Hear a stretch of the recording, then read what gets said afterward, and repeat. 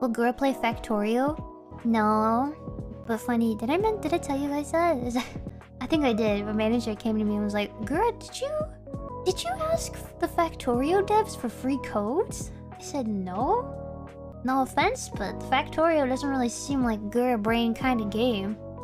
They were like, well, if you didn't ask, then who was pretending to be you and asked for free codes?